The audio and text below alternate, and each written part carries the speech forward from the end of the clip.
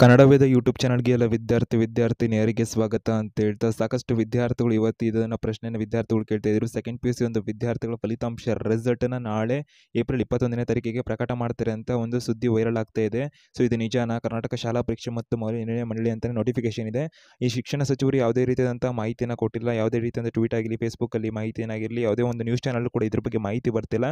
ನಿಜಾನ ಸುಳ್ಳು ಅಂತ ಕೇಳ್ತಾ ಇದ್ದೀರಿ ಸೆಕೆಂಡ್ ಪಿ ಯು ಸಿ ವಿದ್ಯಾರ್ಥಿಗಳ ಫಲಿತಾಂಶದ ಕುರಿತು ಈ ವಿಡಿಯೋದಲ್ಲಿ ನಾಳೆ ಸೆಕೆಂಡ್ ಪಿ ಯು ಸಿ ವಿದ್ಯಾರ್ಥಿಗಳ ಅಂತ ಏನಿದೆ ಇದರ ಬಗ್ಗೆ ಎಲ್ಲ ಮೊದಲ ಬಾರಿಗೆ ಕನ್ನಡವೇದ ಯೂಟ್ಯೂಬ್ ಚಾನಲಲ್ಲಿ ವಿಡಿಯೋ ನೋಡ್ತಿರುವಂಥವ್ರು ಹೆಚ್ಚಿಗೆ ಅಪ್ಡೇಟ್ಸ್ ಇನ್ಫಾರ್ಮೇಷನ್ ಮಾಹಿತಿಗಳು. ಸೊ ವಿದ್ಯಾರ್ಥಿಗಳ ಪ್ರಶ್ನೆಗಳಿಗೆ ಕ್ಲಾರಿಟಿಯನ್ನು ಉತ್ತರಗಳನ್ನು ಕೊಡ್ತಾ ಇರ್ತೇವೆ. ಸೊ ಅದಕ್ಕೆ ಚಾನಲ್ಗೆ ಸಬ್ಸ್ಕ್ರೈಬ್ ಆಗಿರಿ ಬೆಲ್ಲೈಕನ್ ಕ್ಲಿಕ್ ಮಾಡಿ.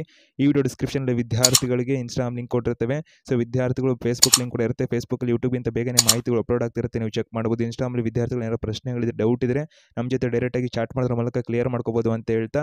ಸೊ ಎಲ್ಲ ವಿದ್ಯಾರ್ಥಿಗಳು ಚಾನಲ್ಗೆ ಸಬ್ಸ್ಕ್ರೈಬ್ ಆಗಿರಿ ಬೆಲ್ಲೈಕನ್ ಕ್ಲಿಕ್ ಮಾಡಿ. ಮುಂದಿನ ಅಪ್ಡೇಟ್ಗಳು ವಿದ್ಯಾರ್ಥಿಗಳ ಯಾರು ಫೇಲ್ ಆದರೆ ಅವರ ಒಂದು ವಿದ್ಯಾರ್ಥಿಗಳ ಪೂರಕ ಪರೀಕ್ಷೆ ಆಗಿರ್ಬೋದು. ಪಾಸ್ ಆದಂಥ ವಿದ್ಯಾರ್ಥಿಗಳ ಮುಂದಿನ ಅಡ್ಮಿಷನ್ಗಳ ಕುರಿತು ಅಪ್ಡೇಟ್ಸ್ಗಳು ಬರ್ತಿರುತ್ತೆ.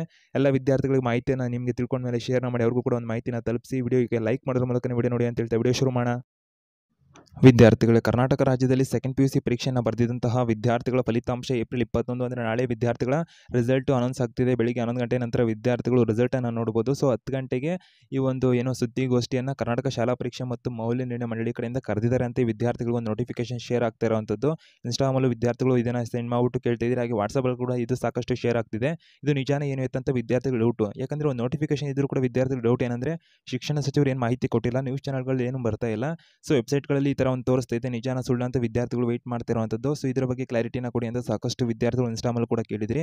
ಸೊ ನಾವು ಹೊರಗಡೆ ಇರೋ ಕಾರಣಕ್ಕೆ ವಿದ್ಯಾರ್ಥಿಗಳು ವಿಡಿಯೋ ಮಾಡೋದಕ್ಕೆ ಕಷ್ಟ ಆಯಿತು. ಸೊ ಇನ್ಫಾರ್ಮೇಷನ್ ಕೂಡ ಕರೆಕ್ಟಾಗಿ ಕೊಡೋಕ್ಕಾಗಲಿಲ್ಲ ಸೊ ವಿದ್ಯಾರ್ಥಿಗಳಿಗೆ ಅಪ್ಡೇಟನ್ನು ಇವಾಗ ತಿಳಿಸುವಂಥದ್ದರೆ ಈ ಒಂದು ನೋಟಿಫಿಕೇಶನ್ ಬಂದಿದೆಯಲ್ಲ ಏಪ್ರಿಲ್ ಇಪ್ಪತ್ತೊಂದು, ಎರಡು ಸಾವಿರದ ಇಪ್ಪತ್ತ್ಮೂರರಂದು ರಿಸಲ್ಟ್ ಅಂತ ಹೌದು ವಿದ್ಯಾರ್ಥಿಗಳು ವ್ಯಾಲ್ಯೂಯೇಷನ್ ಎಲ್ಲ ಕಂಪ್ಲೀಟ್ ಆಗಿದ್ದು, ವಿದ್ಯಾರ್ಥಿಗಳ ಫಲಿತಾಂಶವನ್ನು ಏಪ್ರಿಲ್ ಇಪ್ಪತ್ತೊಂದು, ಎರಡು ಸಾವಿರದ ಇಪ್ಪತ್ತ್ಮೂರಂದು ಬೆಳಿಗ್ಗೆ ಹನ್ನೊಂದು ಗಂಟೆ, ಹತ್ತು ಗಂಟೆಗೆ ಸುದ್ದಿಗೋಷ್ಠಿ ಕರೆದಿದ್ದಾರೆ. ಸೊ ಅದರಲ್ಲೆಲ್ಲ ವಿದ್ಯಾರ್ಥಿಗಳಿಗೆ ಮಾಹಿತಿನ ಕೊಡ್ತಾರೆ. ಸೊ ರಿಸಲ್ಟ್ ಹನ್ನೊಂದು ಗಂಟೆಗೆ ಪ್ರಕಟ ಆಗುತ್ತೆ. ಸೊ ಯಾವ ಆಧಾರದ ಮೇಲೆ ಹೇಳ್ತೀರಾ ಅಂತ ಹೇಳಂತಿದ್ದಾರೆ ವಿದ್ಯಾರ್ಥಿಗಳಿಗೆ ಏನು ಅಧ್ಯಕ್ಷರಾಗಿರ್ತಕ್ಕಂಥ ಕರ್ನಾಟಕ ಶಾಲಾ ಪರೀಕ್ಷೆ ಮತ್ತು ಮೌಲ್ಯ ನಿರ್ಣಯ ಮಂಡಳಿಯ ಅಧ್ಯಕ್ಷರಾಗಿರ್ತಕ್ಕಂಥ ರಾಮಚಂದ್ರನ್ ಅವರು ಮಾಹಿತಿನ ಕೊಟ್ಟಿದ್ದಾರೆ. ಅದರ ಒಂದು ವಿಡಿಯೋನ ಇನ್ಸ್ಟಾಮಲ್ಲಿ ಅಪ್ಲೋಡ್ ಮಾಡಿರ್ತೀನಿ. ಸೊ ವಿದ್ಯಾರ್ಥಿಗಳನ್ನ ಇಲ್ಲಿ ಅಪ್ಲೋಡ್ ಮಾಡೋಕ್ಕಾಗೋದಿಲ್ಲ ಯೂಟ್ಯೂಬಲ್ಲಿ ಇನ್ಸ್ಟಾಮಲ್ಲಿ ವಿದ್ಯಾರ್ಥಿಗಳು ಚೆಕ್ ಮಾಡಬಹುದು ಈ ವಿಡಿಯೋ ಡಿಸ್ಕ್ರಿಪ್ಷನ್ ಲಿಂಕ್ ಇರುತ್ತೆ. ಸೊ ವಿದ್ಯಾರ್ಥಿಗಳ ಫಲಿತಾಂಶವನ್ನು ನಾಳೆ ಪ್ರಕಟ ಮಾಡ್ತಿದೆ ಅಂತ ಅವರೇ ಕೂಡ ಅಫಿಷಿಯಲ್ ಅನೌನ್ಸ್ಮೆಂಟ್ನ ಕೂಡ ಕೊಟ್ಟಿದ್ದಾರೆ. ಸೊ ವಿದ್ಯಾರ್ಥಿಗಳಿಗೆ ಎಲ್ಲ ಸೆಕೆಂಡ್ ಪಿ ಯು ಸಿ ಪರೀಕ್ಷೆನ ಬರೆದಿರುವಂಥ ವಿದ್ಯಾರ್ಥಿಗಳಿಗೆ ಏಪ್ರಿಲ್ ಇಪ್ಪತ್ತೊಂದು, ಎರಡು ಸಾವಿರದ ಇಪ್ಪತ್ತ್ಮೂರರಂದು ಬೆಳಿಗ್ಗೆ ಹನ್ನೊಂದು ಗಂಟೆ ನಂತರ ನಿಮ್ಮ ರಿಸಲ್ಟ್ಗಳು ಅನೌನ್ಸ್ ಆಗ್ತಿದೆ. ಯಾವ ವಿದ್ಯಾರ್ಥಿಗಳು ಕೂಡ ಭಯ ಪಡೋಕೆ ಹೋಗಬೇಡಿ. ಎಲ್ಲ ವಿದ್ಯಾರ್ಥಿಗಳ ಫಲಿತಾಂಶ ರಿಸಲ್ಟ್ ಚೆನ್ನಾಗಿನೇ ಆಗಿರುತ್ತೆ. ನಿಜವಾಗ್ಲೂ ಹಂಡ್ರೆಡ್ ಪರ್ಸೆಂಟ್ ನಾಳೆ ನಿಮ್ಮ ಒಂದು ರಿಸಲ್ಟನ್ನು ಪ್ರಕಟ ಮಾಡ್ತಿದ್ದಾರೆ. ಸೊ ಎಲ್ಲ ವಿದ್ಯಾರ್ಥಿಗಳ ಫಲಿತಾಂಶ ಚೆನ್ನಾಗಿನೇ ಆಗುತ್ತೆ. ಮುಂದಿನ ಅಪ್ಡೇಟ್ಸ್ ಇನ್ಫಾರ್ಮೇಷನ್ಗಾಗಿ ಕನ್ನಡ ವೇದ ಯೂಟ್ಯೂಬ್ ಚಾನಲ್ಗೆ ಸಬ್ಸ್ಕ್ರೈಬ್ ಆಗಿಲ್ಲ ಅಂದ್ರೆ ಆಗಿ ಬೆಲ್ಲೈಕನ್ ಕ್ಲಿಕ್ ಮಾಡಿ. ಈ ವಿಡಿಯೋ ಡಿಸ್ಕ್ರಿಪ್ಷನ್ ಇರುತ್ತೆ. ನಿಮ್ದು ಏನಾದರೂ ಡೌಟ್ ಇದ್ದರೆ ಪ್ರಶ್ನೆಗಳಿದ್ರೆ ಅಲ್ಲಿ ಕೇಳ್ಬೋದು ಅಂತ ಹೇಳ್ತಾ.